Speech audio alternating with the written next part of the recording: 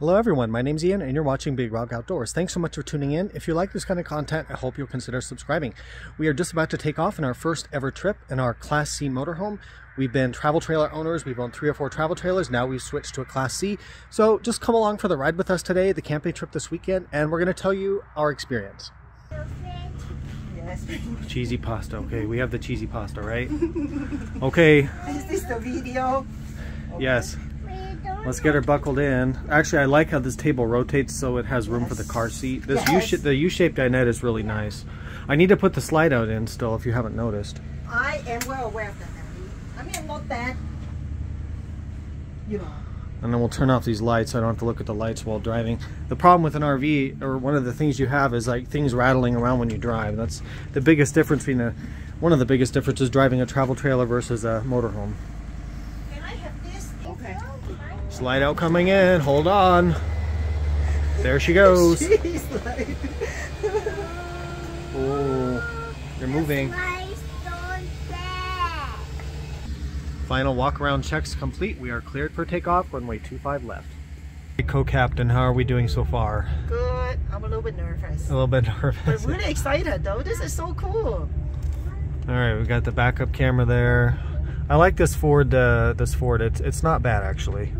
I will say there's a lot less prep when you just have the RV versus a travel trailer and truck and the hitching and all that kind of stuff. True. This is just a little bit easier to just jump in and go. Well, that's gonna happen. Don't give her a toy. I could care less about the toy, but I don't want it to drop into a crack or something.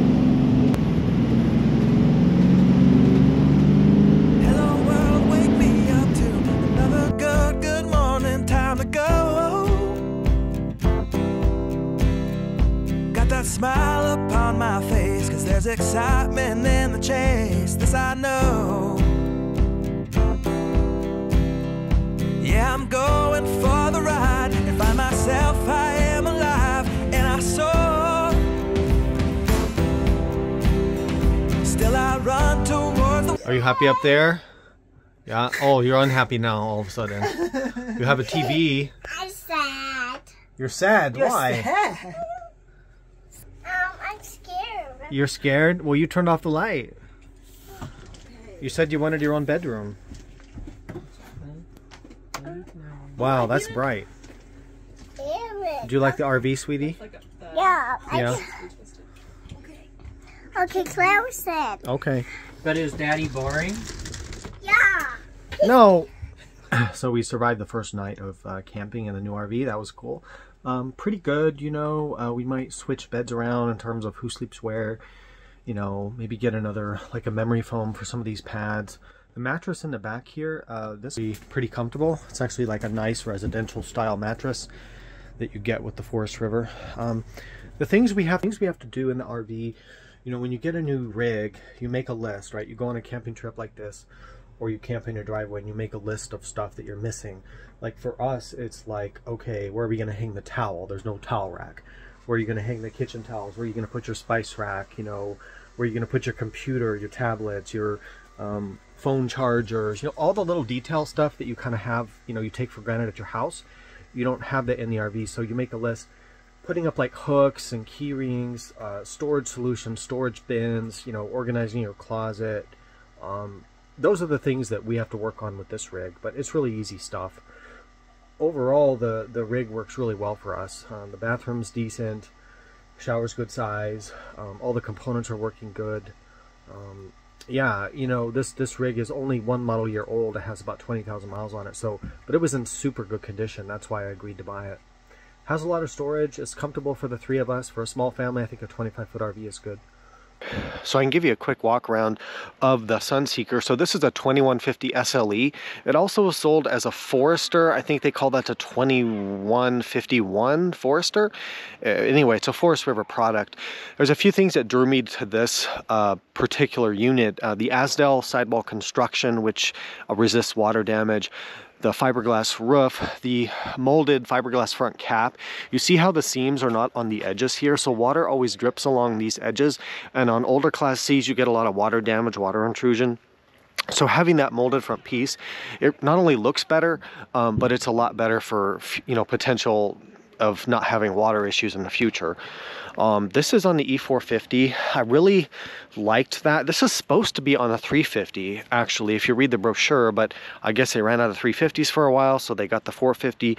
This gives you more towing, more hauling, stronger frame and suspension. It's almost overbuilt for such a small, um, relatively lightweight uh, motorhome. You can see the wheels and tires here. Um, dually rears, of course. I've got some storage in there, hot water heater. Uh, this is some more storage and your uh, water pumps under a cover in there. Hot water heater. It's a six gallon water heater. Uh, huge storage. One of the other things that we liked about this one is look at the storage. So we can fit, you know, her bicycles, strollers, chairs, grills. I mean, you got to think about that. You really need to have storage. I really like the Mercedes Sprinter based RVs because they drive really nice, but they just didn't have much storage.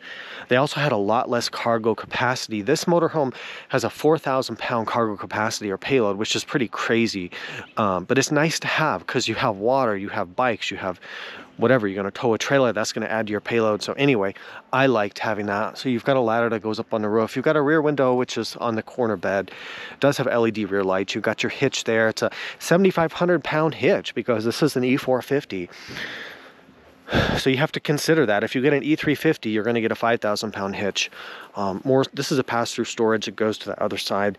Your wet bay, uh, fuel, um, this is your slide out. Under there is your propane tank and your generator. It's got a Cummins uh, Onan 4000 generator. Uh, another small storage under here where I've got some stuff. Um, you know, they did a good job packaging this and giving you a lot. Your generator outlets or exhaust is right there. I did the oil change on this right after we bought it. So first thing I did was I changed the oil in the engine. You just crawl under and you can do the oil change in about 20 minutes. 5W30 oil. I use synthetic and uh, oil filter. You can get it in the auto parts store. Very easy to work on. I also did the oil change in the generator. That took me about 10 minutes. You pop off a cover and uh, then you I need to lock that. Um, yeah, it was easy to do that. So I recommend, you know, doing really good maintenance when you have an RV like this. But yeah, there she is. She's 24 and a half feet long and she's about 99 inches wide. So they are wide vehicles. You got to be really mindful of that. You guys having a good camping trip? Oh, Over there. Princess, you like your new RV? You like your new trailer? Yes? Oh, okay. How about you, Mama? Yes, it's really nice. Yeah, I mean, look how it's only 24 and a half feet. Look how much room we still have left in this site. I think this is like a 40 foot site. We've got the awning set up. Um, you know, it's the Class C is easy to use, you know, compared to the trailers we've had. Like the steps are already built in. You don't have to like fold down steps. Um, it's just there's less setup when you get to camp. All I had to do was back into the site. We got here at night, of course, and then plug in the power cord, and that was it. Because I had the water tank full, so I didn't even bother with that. So, and then yeah, the awning's nice and big. You got to make sure to take care of your awning. Don't leave that out in the wind. Um, but yeah, overall, it's pretty easy to use. One challenge we have is there's really no counter space because it's such a short kitchen because the bed is a corner bed. So like they give you the flip up countertop here, which helps, but then it kind of blocks the door. So like where do you put your water? Where do you put your coffee machine? I've got it over here in the, in the bathroom sink. So you get kind of cramped with stuff like that. You figure that out as you go. They did give you some little nightstand shelves there. We're going to put like more shelves or kind of racks along the edge here, some storage nets to put, you know, just stuff that ends up just cluttering up the RV. Um, and then I like having the heat pump and the furnace because you can use either one. So you have electric heat or gas heat with the furnace. So that's nice depending if you have hookups or not.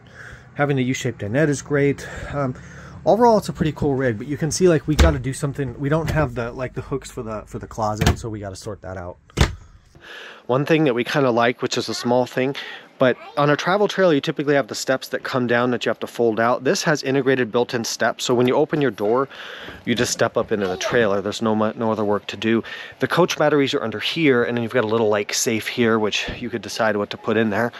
Um, and then inside of course I have to go turn on some of the lights. Um, in here. But see, we're using a little electric space heater, so we're not using up our propane. I always recommend that if you're plugged in at a campsite, use a space heater because you can save your propane. So corner bed, um, the windows, you know, the storage. Um, so far, we do like this layout quite a bit. I think the we just need to organize things a bit better. The kitchen counter space is hard to manage without really having much counter space. You can see here it's kind of already used up. The thing we're gonna do, we're gonna put swivel bases on these front seats so we can swivel these around and use them as part of the living space. Um, that's gonna make a huge improvement, I think. Um, this is surprisingly comfortable up here. I took a nap up here today. I slept there last night, so that's nice to have. Um, how do you guys like the RV experience so far compared to travel trailers?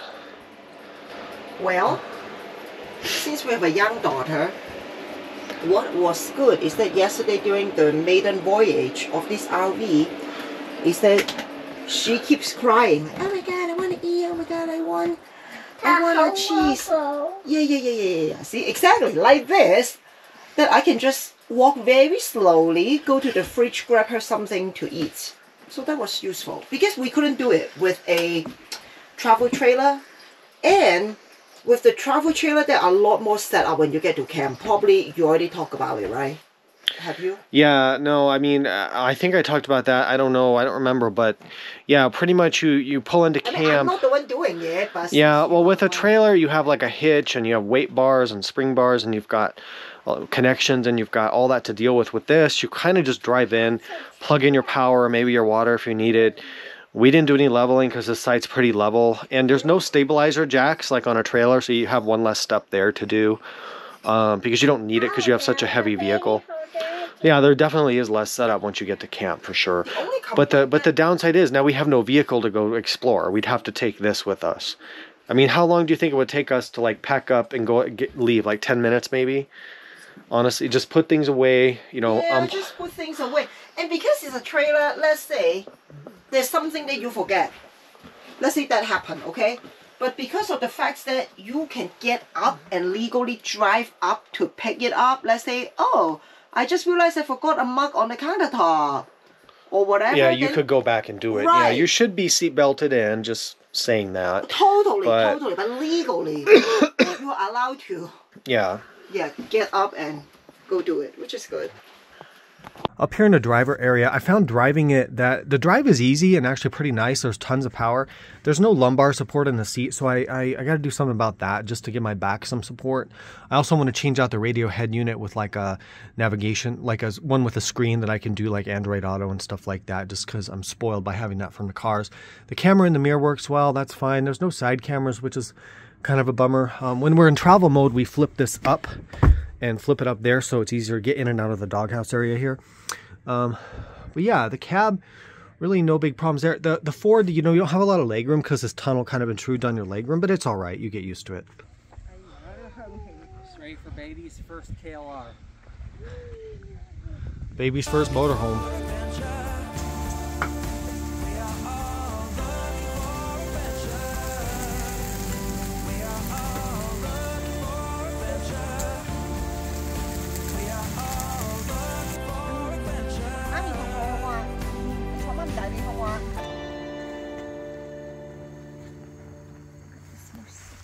No, no, no, no. All right, let's talk about um, one of the major downsides, the most obvious downside of having a motorhome instead of a travel trailer, and that is when you're at camp, you don't have another vehicle, a separate vehicle to go drive and do something. So, for instance, if we want to go out to lunch, we want to go out to dinner, we want to go to a hiking trail somewhere, um, assuming you're not towing a vehicle behind your motorhome, which we are not, we could potentially tow our Jeep, but we might do that in the future. But assuming you don't have that, it means picking up camp, putting away stuff in a motorhome, putting the slides in, putting away your coffee maker, cleaning things up, uh, disconnecting, and taking off. Now, for us, because we don't have a lot of stuff, um, we could do this in about, you know, honestly, about 10 minutes because it's really just disconnecting the power cord, maybe the water if you're connected to that. Um, we just use the water in the tank usually and the water pump to make that easier. Putting a few things away and taking off, we can do that. And with a 24 foot RV, we can go and park in most places, but it's still a little bit big to maneuver and you're going to take up a couple parking spaces, right? Because you're longer and wider than a normal car. So there is that limitation. However, the pro to that or the upside of that situation is that when you uh, are traveling around and doing stuff, if you go out for the whole day, you have everything with you. You've got all your clothing, you have your bathing suits, whatever. If you go to the lake, you've got uh, your bathroom with you, your kitchen with you. You've got everything that you brought on a trip with you in the RV. Camping chairs if you want to set up. So there are pros and cons to that. Um, there are two sides to that coin, right? So I think as a traveling or touring vehicle, a motorhome makes a lot of sense. If you're more of a destination camper, you want to go set up a bunch of camping stuff somewhere and really kind of make a base camp, then I don't know that a motorhome is the best choice. Uh, but I think for us, I think the pros right now with how we're traveling uh, outweigh the cons. And psychologically, there's less to overcome, I think. If you just want to do a one or two night weekend trip, with a motorhome, a small class C like this, what we're already finding is that there's not much setup, there's not much takedown. Uh, it's a little bit easier to get out the door and, and go and use your unit, especially if you have it parked at your house like we do. So there's always pros and cons, but I think that's one of the biggest things you have to you have to think about. And you know, it's funny in terms of pricing. Like we paid about uh, seventy thousand uh, dollars for this motorhome as a used motorhome. It's a and it's a 2023. Um, and for that price, I, would be pretty hard if you wanted to get a nice new newer truck like a diesel truck. You'd spend more than that just on the truck alone, um, and then you'd still have to buy a travel trailer. Course, you could get a used truck and a used trailer for probably less money, I'm sure. Uh, but again, you have to put that all on the scale and think about think about your needs. Um, and if you buy a truck, you know, then you have that vehicle to do other truck stuff with. With the RV, it's kind of just an RV. You know, you're not really going to be able to use it for other than taking RV trips. So there's kind of some pros and cons to that. Um, the truth is we'll have to see over this next couple years how this works out for us. I think it's going to be good. And I think for the trips that I do by myself with the motorcycles and stuff like that, it definitely is better for that because I can put motorcycles in a little uh, trailer behind me or either you can use the hitch carrier to take one motorcycle with me. And that's a really easy, fast way to do this to travel.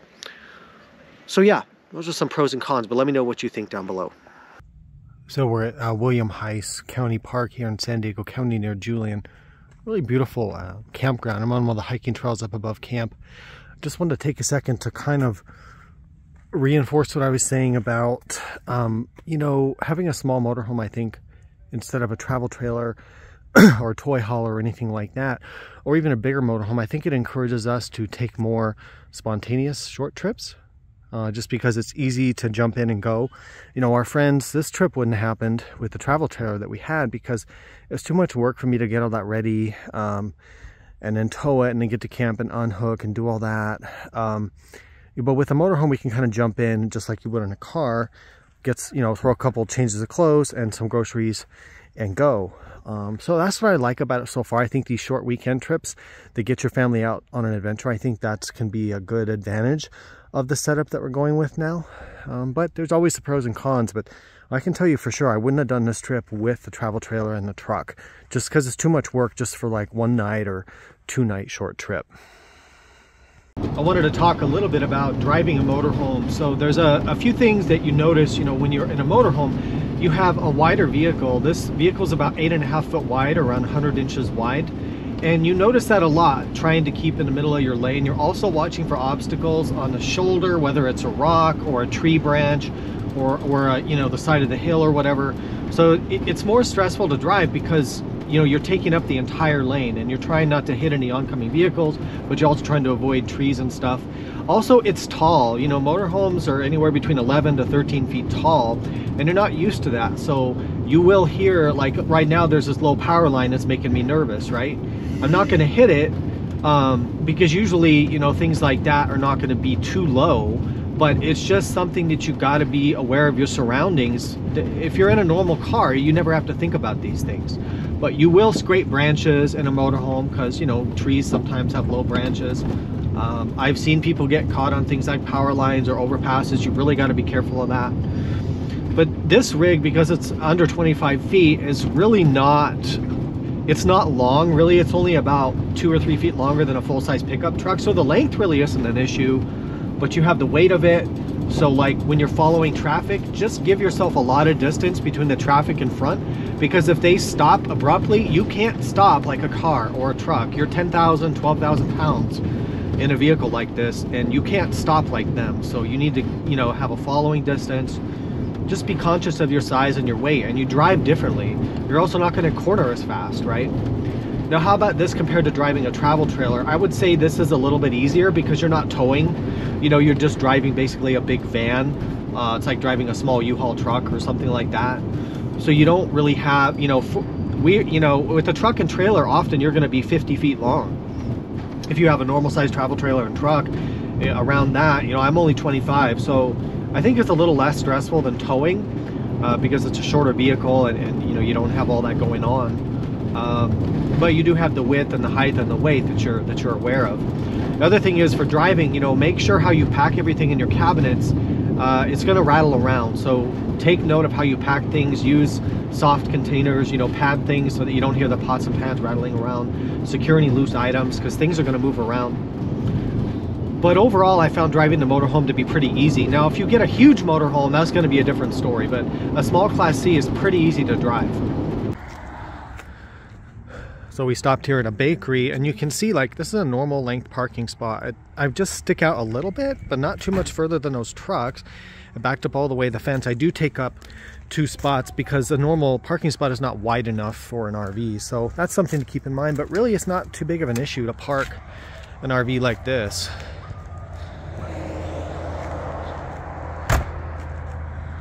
Right, well, we finished the trip. Uh, I got the RV cleaned up, parked, got the tanks dumped out. I have a uh, septic system hookup at my house uh, for the tanks, so it's really convenient. I can just get home and do all my uh, clean my tanks out and everything when I get home instead of having to wait in line at the dump station at the campground. So, anyway, we really enjoyed uh, the Class C so far.